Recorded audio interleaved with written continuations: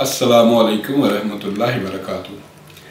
नाजरीन मोहतरम गुज्त वीडियो में हमने आपको एक मुनाजरे का अहवाल बताया था, जो पादरी शफीक कमल साहब के दरमियान और एक मिर्ज़ई उनका नाम अब्दुल लतीफ़ मीर है। इसके लिए मैं माजरत खा हूँ कि मैंने पहले सलीम मीर समझा था, नाम उनका अब्दुल लतीफ़ मीर है। उनके दरमियान जो मुनाजरा मुनद हुआ। तो बहुत से मसीहों ने मुझसे रबता किया, उन्होंने कहा, जी, ये शिकस्त तो है शफीक कंवर साहब की, मगर इसको शिकस्त मसीहत की ना समझा जाए। ये फ़र्द वाहद की शिकस्त है। तो चूँकि शफीक कंवर साहब जो है, उनको इलम ही नहीं है मिर्जैत का तो लिहाजा ये फ़र्द वाहद की शिकस्त जो है, वो तस्लीम की जाए। तो हम इसको फ़र्द वाहद की शख्सियत फ़र्द वाहद की शिकस्त ही तस्लीम करते हैं। कुछ वजूहत हैं जो मैं समझता हूँ कि जिस वजह से पादरी शफीक कमल साहब जो हैं, इन वजूहत के पेश नज़र जो हैं, वो उस, उसके साथ जो है ना, वो सही मुनाजरा नहीं कर सके। उसकी वजह ये थी कि पादरी शफीक कमल साहब को कुरान करीम का भी इलम नहीं था, इस्लामी अकायद का भी इलम नहीं था। सबसे पहली गलती तो उन्होंने ये की थी कि जनाब वो जो लफज था इन्नी मुतवफ़ी का तो लफज मुतवफ़ी का, उसका तर्जमा जो मर्जई करते हैं, वो तर्जमा खुद जनाब शफीक शफीक कमल साहब ने कर दिया हालाँकि मुतवफ़ी, तवफ़ी, मुतवफ़ी का, लगत अरब के अंदर, अरब की लगत में कोई उसका मानी जो है ना, वो मौत नहीं है। और तो और, अगर बाइबल देख लेते अरबी जबान में अंजील देख लेते तो वहाँ भी मुतवफ़ी का लफज मौत नहीं है। मेरा और जनाब पादरी मैथ्यू सलेमान साहब का मुनाजरा हुआ था। उस मुनाजरे में हमने बाइबल में से ये साबित किया था, अंजील में से ये साबित किया था कि लफज मुतवफ़ी जो है, इसका माना जो है, वो मौत नहीं है। तो पादरी शफीक कंवर साहब ने पहली गलती तो ये की कि मुतवफ़ी का जो इलमी ख़यानत करते हुए मिर्जइयों ने एक गलत तर्जमा किया हुआ है, वो उन्होंने खुद तस्लीम कर लिया। हालाँकि अगर वो चाहते, अगर उनको इलम होता तो वो उसे चैलेंज करते कि लगत अरब में इसका मानी यही नहीं है। और फिर खुद मिर्ज़ा गुलाम कादियानी ने मुतवफ़ी का जो तर्जमा किया हुआ है अपनी किताब में तो बराहीन अहमदिया में, वो उसके सामने रख सकते थे। अच्छा चूँकि शफीक कमर साहब को इलम नहीं है, मरजई अकायद का, इसलिए उनकी सबसे पहली बड़ी गलती तो ये थी कि उन्होंने उनका जो तहरीफ का और इलमी ख़यानत पर मबनी तर्जमा है, वो उन्होंने खुद तस्लीम कर लिया। दूसरी बात ये थी कि वो उनके सामने ये तस्लीम कर रहा था कि हज़रत मसीह जो है, वो सलीब पर चढ़ाए गए हैं, उन्हें कीले ठोकी गई हैं, और वो जनाब यहूदियों ने उनको गिरफ़्तार उनको कर लिया। गिरफ़्तार वो हो गए, वो जनाब सलीब भी चढ़ गए, और वो सलीब पे चल के जो जो कुछ अनाजील बयान कर रही है, वो सारा कुछ वो तस्लीम कर रहा था। अब पादरी शफीक कंवर से आपको कुरान करीम का इलम नहीं है। अगर उन्हें कुरान करीम का इलम होता तो वो मरबी उसके सामने अब्दुल लतीफ़ मीर के सामने वो कुरान करीम की आयात रखते और उसे कहते भी कुरान करीम तो इसकी सरी तौर पे इनकार कर रहा है, वमा कतलूहु, वमा सलाबूहु। कुरान करीम तो वमा सलाबूहु कह के ये चैप्टर ही क्लोज कर दिया है कि हज़रत मसीह सूली चढ़े ही नहीं, वो सलीब पर चढ़ाए ही नहीं गए हैं। और कुरान करीम में एक दूसरे मुकाम पे सूरा मायदा के अंदर जो है सूरा मायदा 110 नंबर आयत के अंदर अल्लाह ताला ने फरमाया वाइज कफ़ाफ तो बनी इसराइला का। वाइज कफ़ाफ तो बनी इसराइला कह के ये चैप्टर ही क्लोज कर दिया है और वमा साला कह के। पादरी साहब उसके सामने ये दो आयात रख देते और उसे कहते, या तो आप सीधा सीधा कुरान करीम का करो ना इनकार। तो बात करो मेरे साथ मिर्ज़ा कादियानी की। और जो एक और उनकी संगीन गलती ये थी कि जनाब अब्दुल लतीफ़ मीर साहब ने अनाजील की जो बाहम तजाद बयानियाँ हैं सलीब के वाक़ में, उनको दलील बनाया कि भी जिस मुकदमे के अंदर जो है वो हो तजाद हो, वो तो मुकदमा ही काबिल कबूल नहीं होता। तो जनाब सलीम मीर, अपना अब्दुल लतीफ़ मीर साहब सॉरी मेरे मुँह से वो सलीम मीर ही निकलते बार बार ना नाम तो अब्दुल लतीफ़ मीर साहब बात ये है कि ये तजाद बयानियाँ जो हैं क्या उनकी सिर्फ़ जो है वो उनके जनाब किस किस मामले में तजाद बयानी मुझे ये तो बता दें क्या सलीब के वाकयात में तजाद बयानी नहीं है क्या सिर्फ़ जी उठने के वाकयात में तजाद बयानी है ये दोहरा मैार क्यों है आप लोगों का आप मिर्जइयों का ये दोहरा म्यार क्यों है अगर तो ये वाकयात, जी उठने के वाकयात में तजाद है, इस वजह से वो काबिल कबूल नहीं है तो जनाब उनकी गिरफ्तारी के मामले में तजाद बयानी है, उनकी सलीब दिए जाने के वाकया में तजाद बयानी है, वो आपने कैसे कबूल कर दी है? जब आप उनको कबूल कर रहे हैं तो इसको आप कैसे रद्द कर सकते हैं?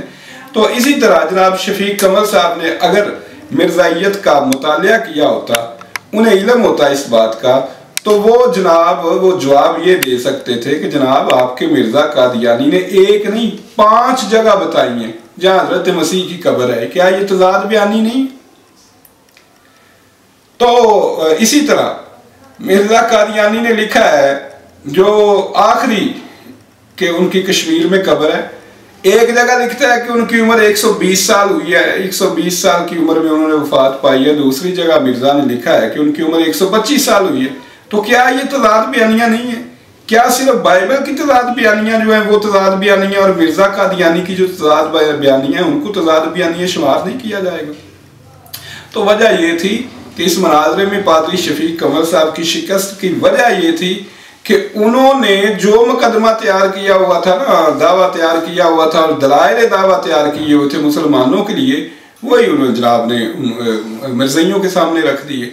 और दूसरा मुतवफ़ी का वो उन्होंने खुद तस्लीम कर लिया।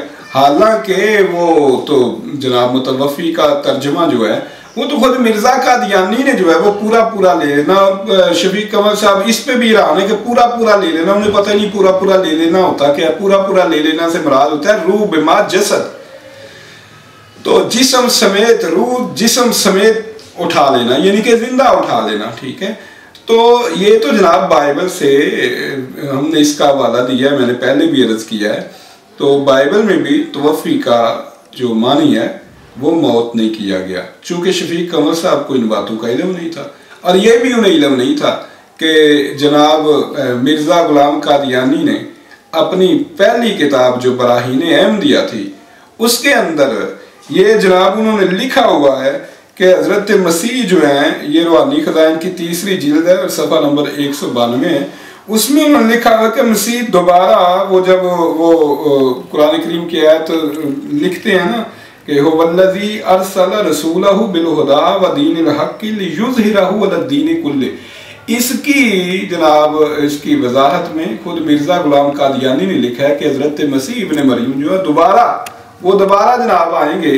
तो जनाब ने ये ये चूँकि शफीक कमल साहब को इन बातों का इलम नहीं था मिर्जैत का उनका मुताल नहीं था, रवानी खजाइन को उन्होंने पढ़ा हुआ नहीं था, और इस वजह से वो बिल्कुल ना वो किसी बात का जवाब दे सके हैं, और ना वो मनाजरा बिल्कुल एक यक तरफा मनाजरा रहा, सिर्फ़ इस वजह से। और ये वजह नहीं है कि ये मसीहियों की शिकस्त जो है ना, वो मैं ये कह रहा हूँ, ये फर्द वाहद की शख्स जो है ना, वो शिकस्त है। अगर आपने गौर किया हो तो मैंने अपनी पहली वीडियो में बताया था कि भाई पादरी अब्दुल्ला आथम ने मिर्ज़ा गुलाम कादियानी का जो हशर किया और मिर्ज़ा गुलाम कादियानी जो है, वो पंद्रह रोज तक मनाजरा जारी रहा और पंद्रहवें रोज मिर्ज़ा गुलाम कादियानी मनाजरे को अधूरा छोड़ के वो भाग गया। और उसके बाद उसने अब्दुल्ला आथम के मरने की पशीन कोई कर दी। वो पशीन कोई भी झूठी निकली। मतलब दो दफ़ा जिल्लत उठानी पड़ी। तो बात ये है कि मैंने भी ये इसको मसीहत की शिकस्त नहीं कहा। ये मैं वजाहत कर दूँ। ये शफीक कंवर साहब की शिकस्त है और इस वजह से है कि उन्हें इलम ही नहीं है मरजैत का। उन्होंने पढ़ा ही नहीं है मरजैत को। उनके बाद रूहानी खुजाइन का उन्होंने मुताल ही नहीं किया हुआ। उन्हें जनाब मिर्जइयों के अकायद के बारे में इलम ही नहीं है और उन्हें पता ही नहीं है कि मिर्जइयों की जो मुकदस किताब है वो तस्करा है। कुरान करीम का उस उनके साथ क्या तलक है? जिस तरह आपका जनाब ऐदनामा कदीम जो है, जिस तरह आप ऐदनामा कदीम को असीयत देते हैं तो उनके नज़दीक कुरान करीम की क्या असीयत है? वो तराज जबूर, अंजील की उनके नज़दीक, कुरान की असीयत उनके नज़दीक क्या है? उनके नज़दीक तो मिर्ज़ा कादियानी की किताबें जो है, वो मुकदस किताबें हैं, उनकी मुकदस किताब जो है, वो तो तस्करा है। तो चूँकि शफीक कमल साहब को इन बातों का इलम नहीं था, इस वजह से जनाब ने ये जो है ना, वो शिकस्त खाई है। कोई भी मसीह मसीहियों में बड़े बड़े अकबर मसीह हुए हैं, उन्होंने कादियानियत का एक जो है ना, बड़ा रगीदा है उन्होंने, और अब्दुल्ला आथम की मौजूद है कि अब्दुल्ला आथम ने जनाब इनके मिर्जइयों के जो मसीह हैं नौजुबिल्ला झूठा मसीह है, उसके रूबरू जनाब उसका नातका बंद कर दिया, उसको मुनाजरे से फरार होने पर मजबूर कर दिया। और अच्छा तो अगर जनाब अब्दुल्ला आथम मिर्ज़ा गुलाम कादियानी को शिकस्त दे सकता है तो आज के जो मसीही हैं, जिन्होंने कादियानियत का मुताल किया हुआ है, ये मिर्जई तो उनके बगल बच्चे ये मिर्जई तो फरंगियों की पैदावार है, अंग्रेज़ का खुद काश्ता पौधा है। ये तो मिर्ज़ा गुलाम कादियानी की किताबों से जनाब ये सारा कुछ साबित है। तो उन्होंने तो उनका तो ये ये सलीबियों का तो ये बगल बच्चा है, उनके सामने तो ये बात कर ही नहीं सकते। वो ये तो ये पौधा तो लगाया ही उन्होंने है।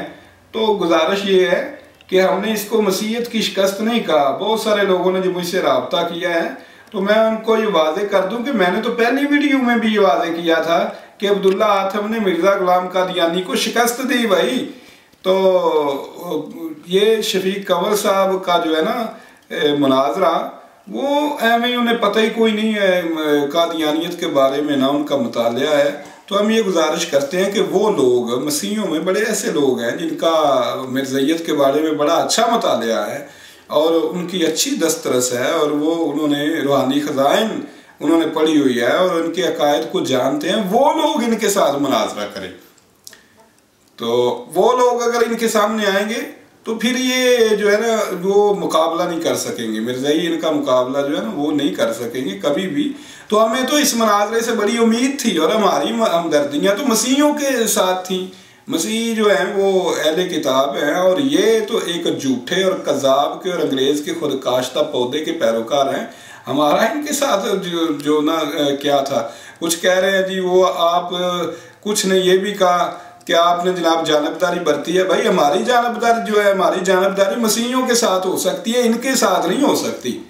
तो मसीह जो हैं, वो एक सच्चे नबी के मानने वाले हैं, हज़रत मसीह के मानने वाले हैं, हज़रत ईसा इबन मरियम के मानने वाले हैं और मिर्ज़ा एक कज़ाब है।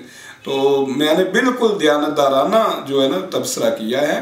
तो मेरी ये गुजारिश है कि मसीही हजरात के वो लोग इनसे मुनाजरा करें जिन्होंने मिर्जैत का मुताल किया हुआ है। शुक्रिया।